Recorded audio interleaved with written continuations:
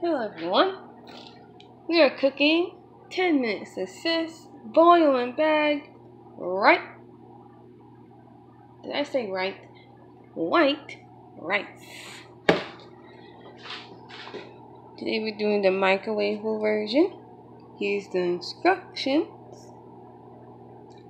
In a number one says in a two quart microwave safe bowl, submerge one bag of rice in about four cups. Four cups equals one quart.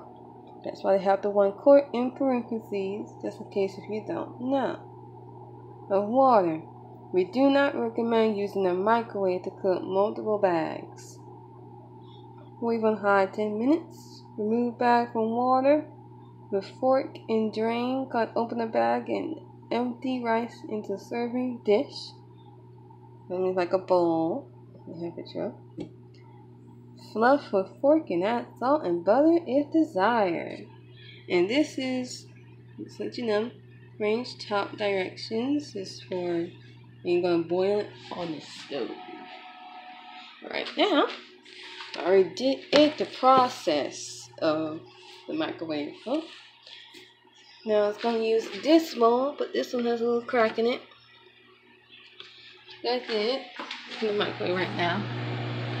See that rice? Now how do I do it? Well, like says on instructions, I got that bowl. I measured four cups of water. Fill it up one time, two cups. Fill it up another, another time also two cups. Hmm. Four cups of water. So I did. But do it slowly. You fill it with hot water or cold water, whatever. But do it slowly. I recommend you do it with hot water because it'll make it better. So I learned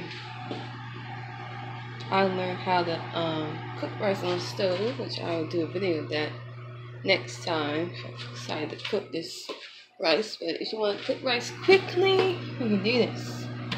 It is easy. And I'm going put on 10 minutes, just like I did. It's going to be done soon. Yep. So this is a cooking show video of me. Me cooking 10 minute boil-in-bag white rice. Just gonna stand here and wait. This is almost done.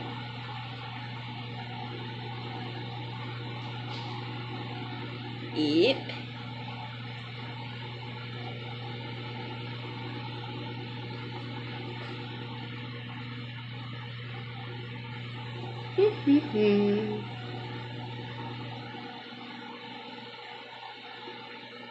Stand here and wait.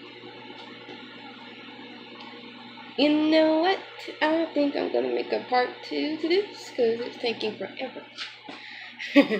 I don't have that much of patience, so we're gonna do a part two this, okay? Okay. Goodbye.